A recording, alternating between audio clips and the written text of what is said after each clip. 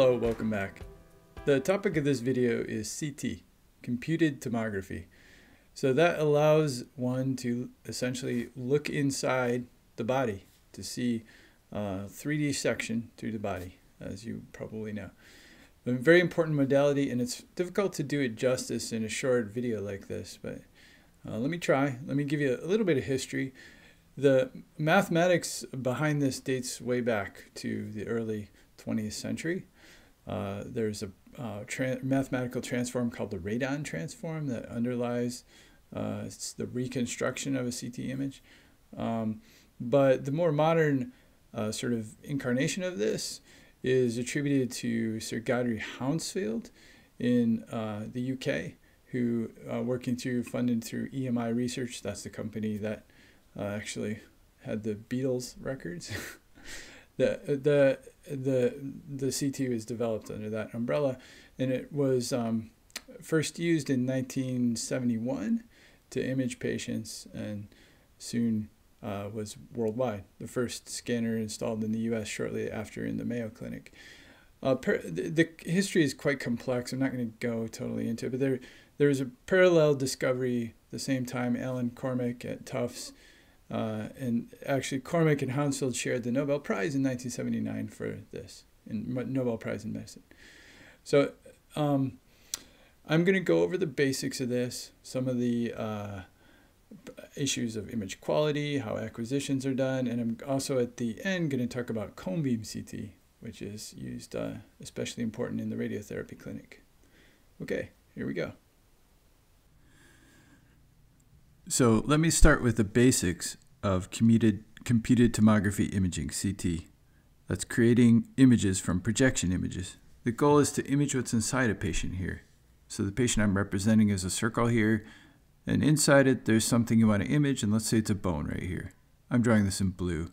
And you want to make a full three-dimensional image of this geometry. So it starts by acquiring a projection image. So the way you do that is you have a X-ray source up here, and you have an imager down here. And here I'm drawing it in one dimension, but this would be two dimensions, stretching in and out of the page. And then you acquire this image. So let me draw what the profile is. So this is a, a profile of the intensity, high intensity at the edge, goes down, and then there's a dip in the middle where there's less uh, intensity because of the absorption in this bone. Now in CT imaging, we do something called back projection. So basically, you're going to start here in the middle or anywhere in the image, and you know what the intensity is, and you back project it through the image. So if I go here, if I measure low intensity, I back project it up to the image, and then I know that somewhere along that line, there the low intensity came uh, from somewhere along that line. Now you can't distinguish from the single projection whether it's a, a full line like a rod that's relatively low density, or it could be just a single uh, small circle here that's higher density. So you can't distinguish with one projection, but if you take multiple projections, you can decompose it and figure it out. So let me walk through how that works. So I'm going to break up this patient and represent it as a bunch of voxels, volume imaging pixels, and the goal is to determine the absorption in each voxel. So I back project this first image, and then we rotate around. And then we acquire another image and back project that. Rotate around, another image, back project, and, and so on. So you, you so rotate, back project, rotate, back project. Each time you're doing a back projection through the volume of interest. And so you can see here, as you get more images, more back projections, you get closer to a representation of the actual uh, image inside the patient. So I'm simplifying a little bit here because we we don't usually do, use a stop and shoot type approach. It's a continuous motion instead that's acquired as you uh, rotate around the patient. Also, uh, we use an algorithm called filtered back projection. That means you filter the image first with a frequency filter before you do the back projection, and you can show mathematically that if you do that, you get an exact representation. So if I look at the image on the right, uh, it's not quite an exact representation of the real geometry in the patient on the left. And part of that is because I'm just using a cartoon here to illustrate. But also, you'll see these kind of streak artifacts, a little star kind of thing on the right. And that's because you don't have very many projections. The more projections you have, the more accurate the representation is. Second thing to note, when it came down to the angle at the bottom, the rays that were going back through the patient were identical to the rays that were uh, when we projected from the top going down. So we went when we went around half a circle, we actually got all the projection data that we needed. I didn't have to go all the way around. It was redundant information. So if you do the actual math on this, you can show that you need to go around at least 180 degrees plus the fan opening angle of the CT in order to get an accurate reconstruction. But you don't have to go all the way around 360. So in the end, you get an image like this, high quality grayscale image. let me talk about what the data in this image means and how it's represented. So here I'm showing this voxelized representation of the patient and I'm drawing in pixel values here. On these images, black is a low density, gray is higher, white is highest. These values are actually mass attenuation coefficients, mu. And let me explain that and motivate why that is.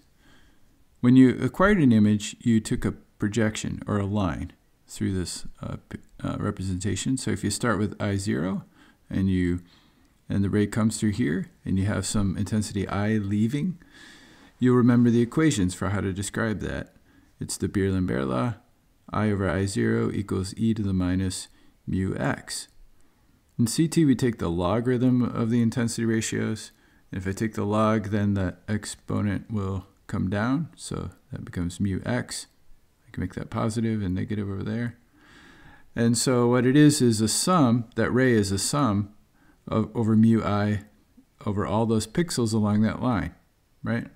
So the mu i is the linear attenuation coefficient in the pixel i. So there, each pixel i, there's i goes 0, 1, 2, 3, 4 through the image, right? So in CT, uh, we don't represent the values as mass attenuation coefficients themselves, those funny numbers, but there's a special number called the Hounsfield unit. It's named after Sir Godfrey Hounsfield, who was one of the pioneers in CT. The Hounsfield unit is defined as follows. So it's mu i, the linear attenuation coefficient in the pixel, minus the mu of water, uh, divided by the mu of water minus the mu of air. And you take that whole quantity times a thousand to give it some reasonable units. This might seem like an arbitrary definition, but it does tie these units to some real physical measure, measured materials, and I'll show you in a minute. Now, one thing you'll notice is mu here, uh, the Hounsfield unit scales linearly with mu. Goes up as mu goes up in a linear fashion. Let's look at some typical values for Hounsfield units. So you'll notice here that water has a Hounsfield unit of zero. You can see that from the definition if I put water minus water is zero on top, right? If we're dealing with air, the linear attenuation coefficient is very close to zero, so you get zero minus water divided by minus water minus zero, that becomes minus one, minus, so you get minus a thousand here, right? And then it scales up. Bone ranges between roughly 500 and 1,000, soft tissue 40 to 80, fat, which is less dense, has a lower Hounsfield unit somewhere between minus 60 to minus 100, and lung is at roughly minus 700 to minus 500. So let's uh, look at an image and just kind of scroll around, just look at some numbers. So I'm here in the lung, I'm reading about minus 650 to minus 700. If you look at my cursor, go over here, I'm gonna, this is air, so that's a minus 1,000 approximately. Um, and then let me uh, just kind of change the window level here so we can see the soft tissue. That So you're not changing the Hounsfield units when you change that window level, you're just changing the display. Here I'm in muscle, I'm getting roughly 15 to 70, depending on where I am.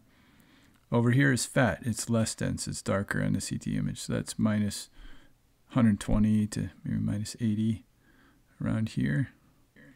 Let's go over to the bone.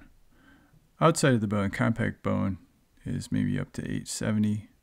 That's the more dense cortical bone. Then inside, uh, it's lower.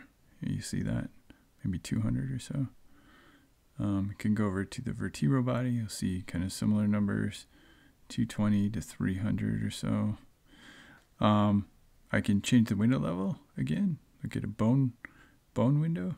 There you go. That might be a little bit easier to see the bones and how the CT numbers vary in there. All right, now I don't know if you notice this, but as I scroll around, you can actually see not only the Hounsfield units, but also the density grams per cc. So there's a calibration between those two. Here's what this curve looks like. This is something that you measure, the physicist measures. And so you'll take different uh, materials of different known densities and scan them and figure out what the Hounsfield units are. So you would cover some range here, different values. Uh, important value being water, which is 1, we know. Uh, and then that gives you this curve, and that's used in your planning system. This is very important because these Hounsfield units and the densities are used for treatment planning dose calculations. Now I'd like to talk about how CT scans are acquired. So here is the basic geometry. You have the source, the red spot, and the detector, the blue ring down under the patient. The patient slides through. And so uh, the rays will come out from the source to the detector, and here I'm going to draw those, and you can see it's kind of a thin fan of radiation uh, coming out. So it's kind of, this is like this slice. Okay, so and then this whole thing uh, rotates around the patient. So the source rotates, and in the modern scanners, the detector rotates at the same time. So here's what this might look like. It's a sort of a hole or a donut. We, we call it a bore. And then if you could take the covers off and look inside, you would see this, all the equipment rotating around very quickly and acquiring the scan. So uh, the beam is collimated here up near the source to a very thin beam, a fan beam, and that collimation can be adjusted. And then at any given position, then a reconstruction is obtained through a, sort of a slice through the patient at this position, and you get all the anatomy in that slice, as I described before. Now, each of these slices has some finite thickness in the sup superior inferior dimension, like I drew here. So that has some thickness S. That's S, the slice thickness, and that can be adjusted in the scanners. Now let's take a look at some more equipment. So here you'll see one of the older scanners. Uh, the x-ray tube is up here at the top, and then below it would be the detectors. And so here's a better picture of the tube. You'll see the collimator here. And then you'll see also the high voltage cables coming in here. That would be the anode and the cathode and uh, you look down here you see a closer view of the collimator so that creates the slice and that can be adjusted in and out now let's take a closer look at this detector here so it's segmented in these lines each one of these is a different element so you get a line coming down from the source hits one of these elements and then you detect the attenuation in that line but it's also the, in the newer scanners segmented in this direction so you have multiple uh, rows, and these are called multi, multi, uh, multi-slice systems. So there's more than one uh, slice in the detector bank. So you get the whole image at once. So there's an advantage to that. You get larger volumes faster. So these can, uh, so the width of this, it can vary in different systems. So you could have four slices, 8, 16, and so on, or even 128, and some are even larger now. Now let's look at how the scan is acquired. So the patient is sitting on this tabletop, and that tabletop moves in through the bore as the tube rotates around and the data is acquired. So if you look at, at this, then this it actually executes a helical trajectory as viewed from the patient uh, point of view. Okay, so uh, this then is called helical CT. There's another way to do it. You can do slice by slice, but most systems now are using helical scanning protocol. So one critical thing is the distance uh, between these spirals. So if I have a tube starts up here, goes around the loop and ends here, so that's one rotation of the tube, and the, the table travels a distance d. So the relevant parameter here is called pitch, p. It's the distance d in one rotation divided by s, the slice thickness. So a typical value might be 1. So uh, a distance of 1.5 millimeters, let's say, for a slice thickness of 1.5 millimeters. So you can see that the uh, cartoon I've drawn here, the, the spiral is much too loose, but it's just to illustrate things. Now I'd like to talk about image quality in CT scans. A lot of this is going to follow along from the concepts that we talked about in the last video 19.1 so if you haven't looked at that go back and have a look first. Here are two images. The one on the left has more noise than the one on the right but otherwise they're quite similar. So this is our first parameter to look at in terms of image quality is noise. And it's um, controlled by several variables. One is the collimation of the CT or the slice thickness it's also affected by the reconstruction algorithm that's used for the CT. Uh, the pitch contributes, the KVP that you run the tube, the time in seconds, and the MA or the current. Now these two, the time and the MA, they combine. So noise is proportional to 1 over the square root of the MA times the time in seconds. And the reason for that relationship is that the MA times the time is going to um, affect the number of photons coming out. And remember that that affects noise. So let's go back for a minute and just remember what we learned in the last video, 19.1. We looked at the Poisson distribution. We saw that the signal to noise ratio scaled like the square root of the number of photons. Or in other words, the noise as you had fewer photons, the noise got worse by the square root of that value. So maybe when you saw that, it looked a bit theoretical, but here we're going to see the practical application of this. So let's look at a couple of examples, and I'm going to uh, look, show some phantom scans. So here you'll see a phantom scan with, done at three different MA settings. The time for these is the same in each case. And you just see that as the MA is lowered, the noise gets worse, right? So MA again controls the current in the tube, which controls the number of photons out. The noise is also affected by slice thickness. Remember that you can have some thickness here in the scan and that's you can control how thick the slice is. So here's an example. Uh, these are two different slice thicknesses and you can see that the thinner slice on the right has a lot more noise. Of course, the advantage of a thinner slice is you get higher resolution especially in the superior inferior dimension. There are other parameters that affect noise as well, and I'm not going to go into any more in detail, but it really comes down to the fact that the CT reconstructions are really controlled by photon counting noise, so that square root of n dependence. So for example, a KVP dependency you can understand. As you turn the KVP down, there's less penetration to the patient fewer photons out, and the noise goes up, right? Okay, so let me talk about the next uh, image quality parameter, which is resolution, spatial resolution. And that's uh, affected by several parameters.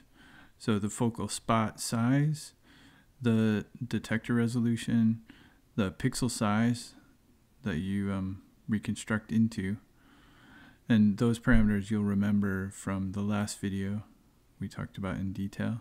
But there's other ones for CT as well. So the reconstruction filter is one, and the slice thickness is another.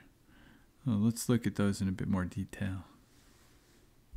So you'll remember when I talked about reconstruction, I said one of the main algorithms that we use is back projection, but it's actually filter back projection. So we filter first with the frequency filter, and you can control that filter. So you can either let higher frequencies through or preferentially lower frequencies through, and that's going to affect the spatial resolution of the reconstruction as well. Here's an example of that. The left is a standard filter, and the right is a bone filter that's designed to let higher frequencies through. If you look at these line pair objects, you can see the difference. You can distinguish the features with the bone filter on the right, but not on the left if you look closely. This might seem like a subtle difference, but when you're talking about some of this high resolution imaging that's needed in some applications, this is important. Now the images I just showed you were taken at 220 MA. Uh, let's look at what happens if I turn the MA down. You'll see the noise uh, increases like we just talked about. That's not a surprise.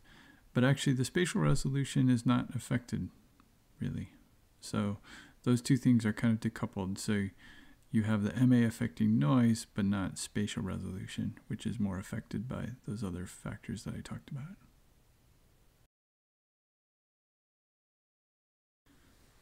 So the next topic we're going to look at is cone beam CT, CBCT.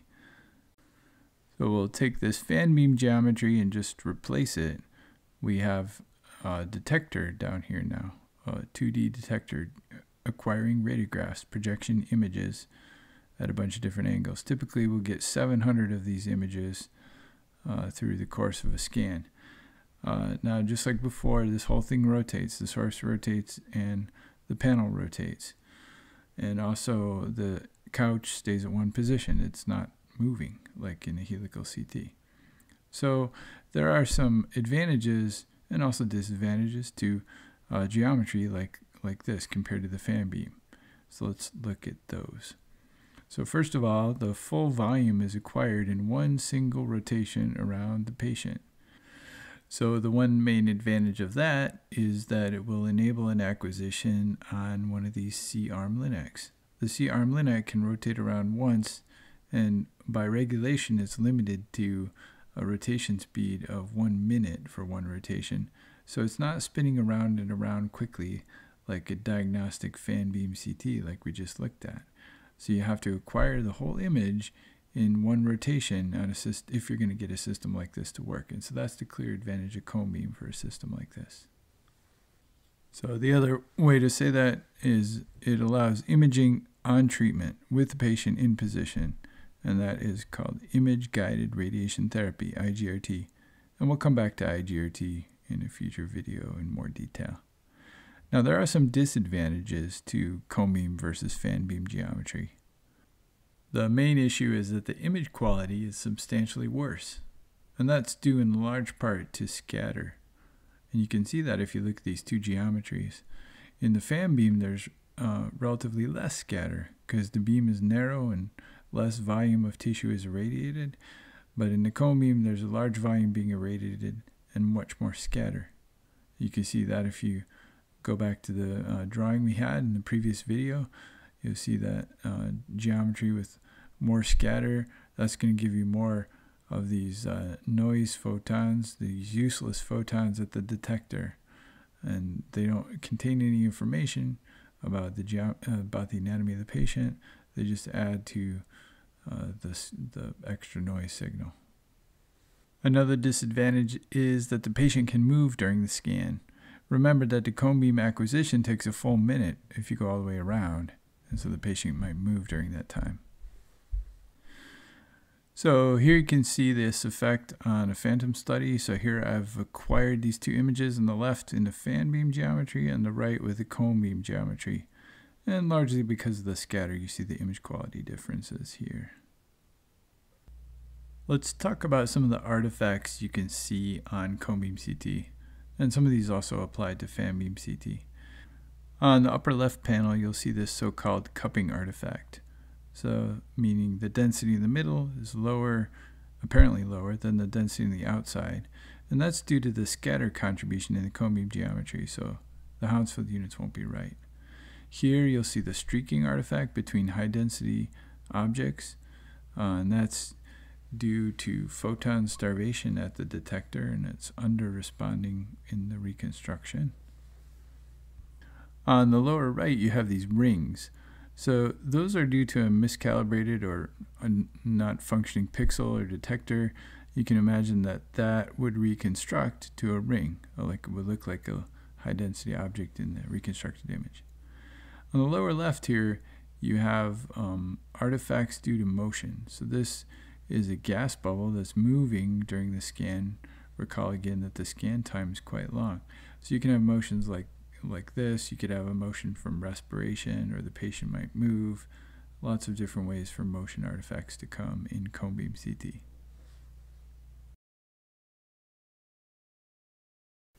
All right, so that was your whirlwind tour of CT imaging.